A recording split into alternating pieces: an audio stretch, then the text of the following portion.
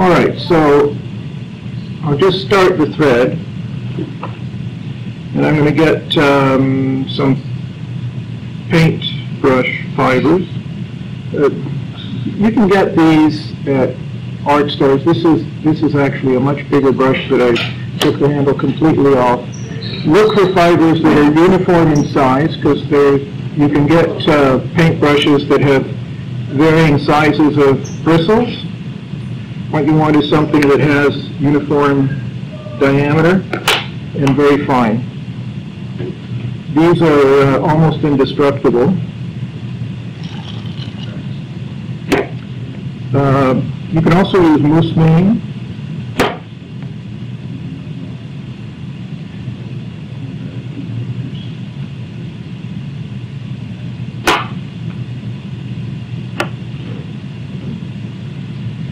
Now, the tails are quite long, at least as long as the body.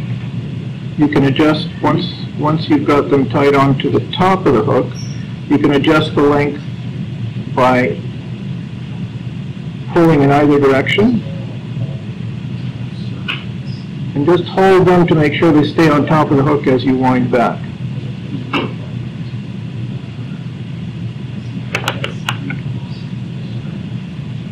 Now, there's a number of ways you can separate the tails.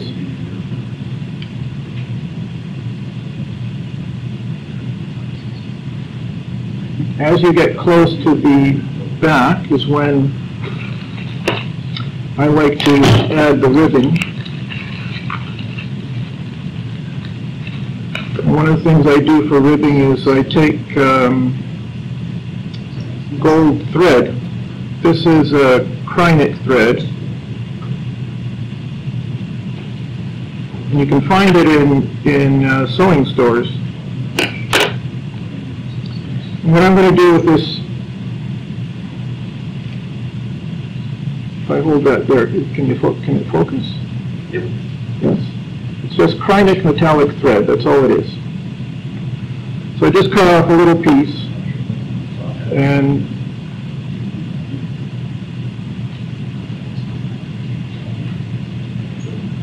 you unravel the ends.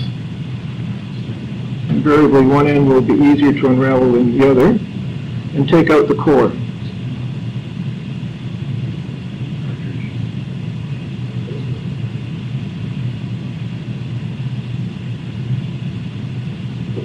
Okay, that's good enough.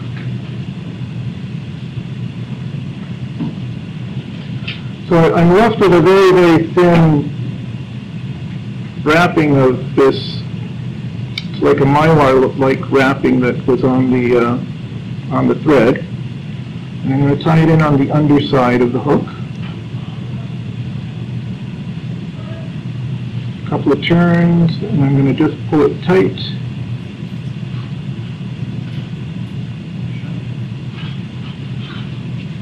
Now, what I want to do is make sure that the tail fibers stay on top. That other, the, the ribbing can wander a little bit, doesn't really matter. When I get to the back, this is where I want to separate the, uh, the tails. Now, to separate the tails, my favorite method is simply use the tying thread. And what I do is I simply fold them back a little bit, and they will separate naturally into, I've got four fibers here. So they separate quite naturally. I'm going to go over the near one and under the far one.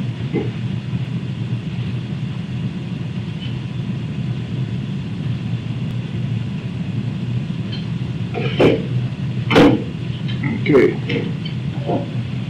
So I have the tails separated. Now, for insurance,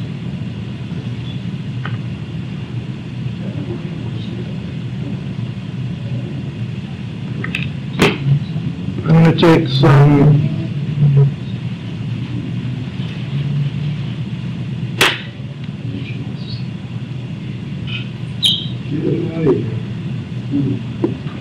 This is CA glue. CA glue is super glue. I use it um, for my wood turning. And um, I like to use the very, very thin stuff. I just put a drop here. This is just a, a Robertson screw that's set into a block of wood. Now that will not set. But as soon as I touch it to the hook here,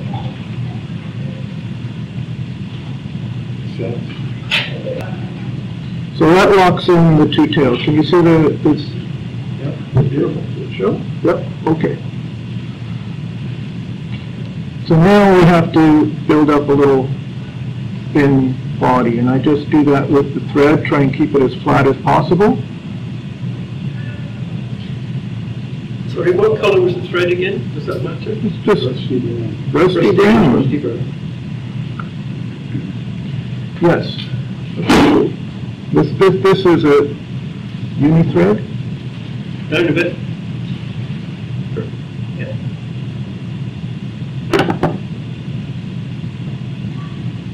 Okay.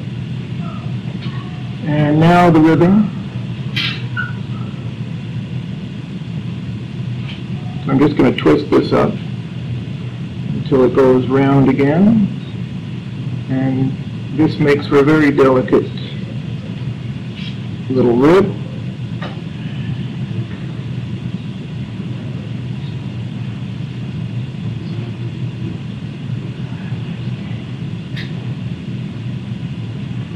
Okay, done. So there's tail and body.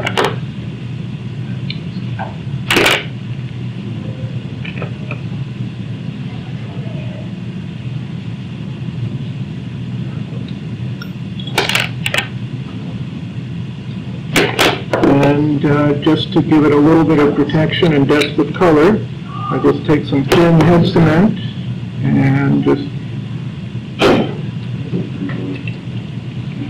add a little coating to the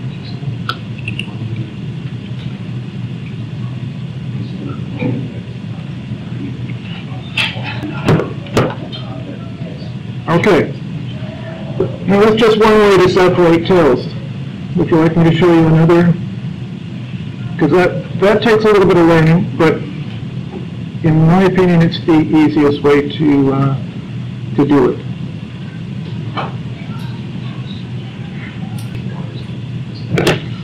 Okay. I'm going to get this thread out of the way. And this piece of thread that I held back, I'm going to do the same thing. Fold the tails back until they sort of naturally separate. I'm going to take this piece of thread and go around the hook and hold it together kind of like the reins on a horse and just bring it up in between the tails.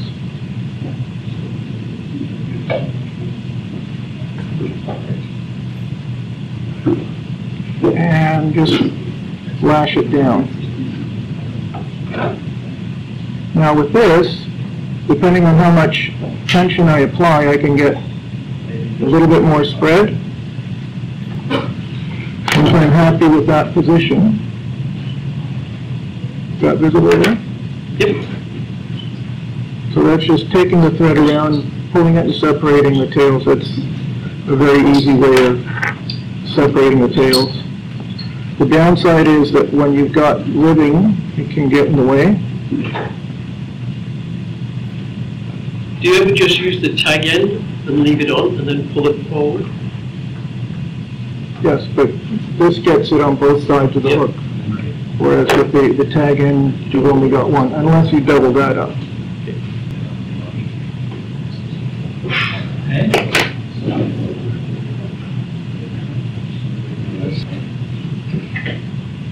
Okay, so we've got a body with no rib.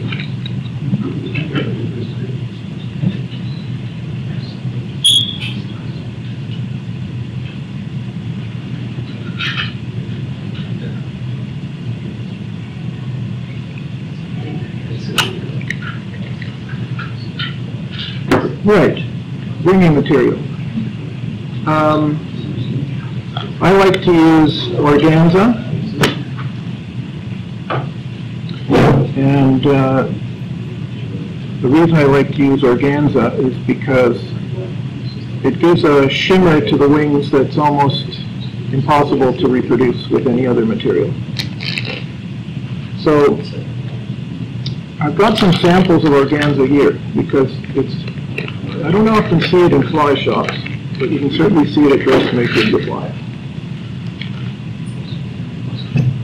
How many flies will that? This will, this will tie a couple of thousand. Sixty-three billion.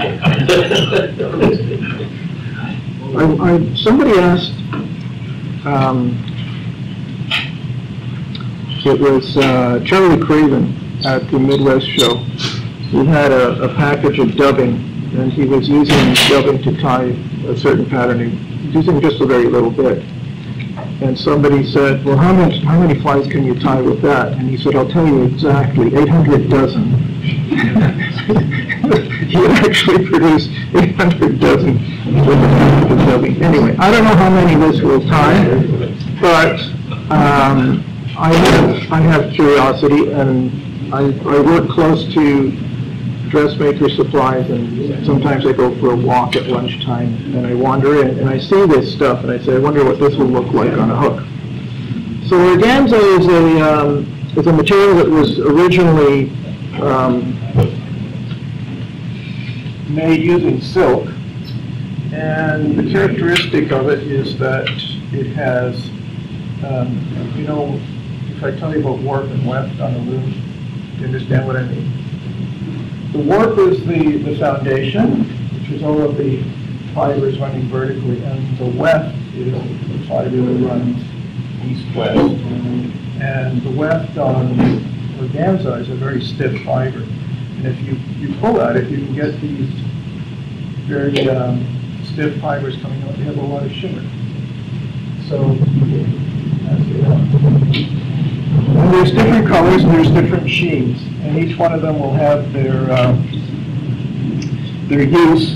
Um, I'm going to be using this because it's, uh, it's very shimmery, and um, it also is very stiff and easy to see. The other stuff isn't as easy to see. So what you have to do is, what you want to do is, is cut off a strip. There you go. You need a strip about three eighths of an inch wide with the, the weft fibers, the stiff fibers running lengthwise. And then you cut that into smaller segments.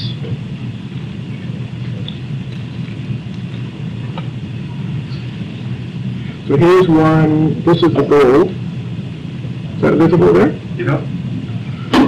So I cut off about an inch and a quarter of this.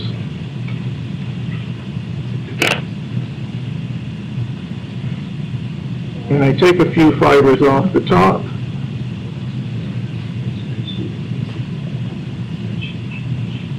Until I start exposing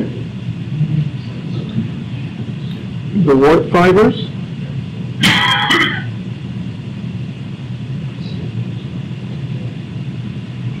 See a fringe there? See that little fringe?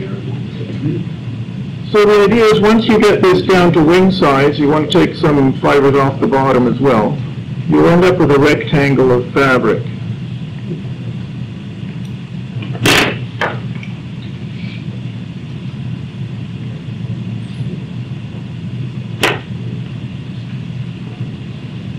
Something like that. And that's about enough fibers to tie a decent wing for a fly about this size. So what you want to do is then start removing the warp fibers in the middle, those reddish fibers have to start coming out. Now, the first couple are hard to take out, but if you get a good pair of tweezers, there we go.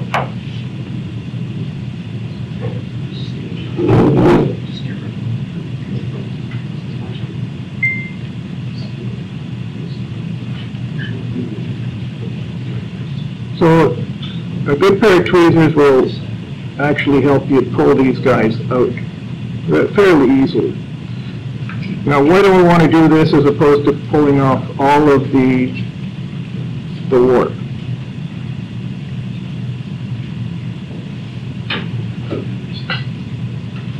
Can you see the, the sort of blank space in the, in the middle? So the idea to do this, why I do this is because um, if you've ever tied uh, like a duck quill wing, here's one that I've already prepared and it's ready to go. There, there's a, a fairly large segment right in the middle that has no uh, warp fibers. So I'm going to hold this, and if you've ever tied in a duck quill wing, what I will do is, when I apply the thread, it'll collapse the fibers down in a nice little bunch. But it'll leave the fibers straight out. If I were to take all of those warp fibers out, you end up with a bundle of sticks, and you don't get the spread. So, imagine that you're tying sort of a duck quill wing. So we're going to go up and then just pull down. Now here, I can turn it sideways.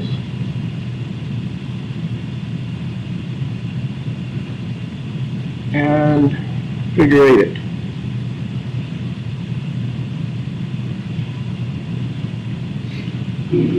So now that the wing is tied in, I can finish the uh, thorax. I can either do the, take out these remaining, remaining fibers now or wait until after the thorax is done. I'm going to do the latter. And I'm just going to use some of this ultrafine dubbing. And just to get the fibers aligned, I'm going to just pull it apart and put it back together. Because literally I want to get my fingers dirty with this stuff, no more than just a, a fine coating to dress the thread.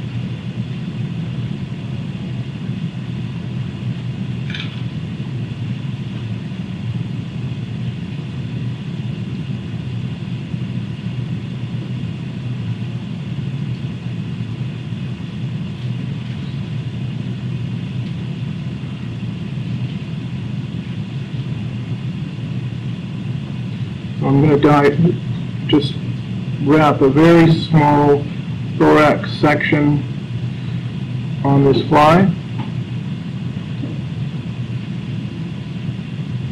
Finishing up just behind the eye of the hook.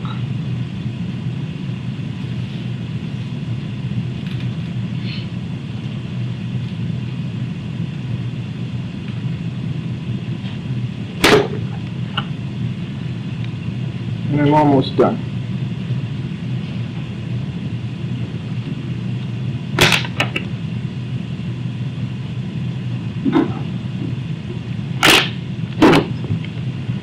Okay, so all I have left now is to remove the remaining warp fibers, and I can do that just with a little comb.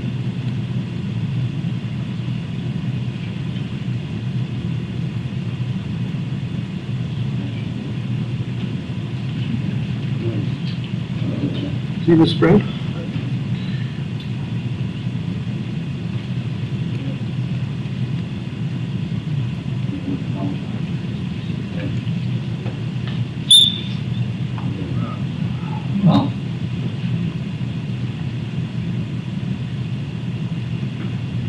Okay, so I'm just going to hold those wings up together. I can always trim them back if I need to. Just cut to shape.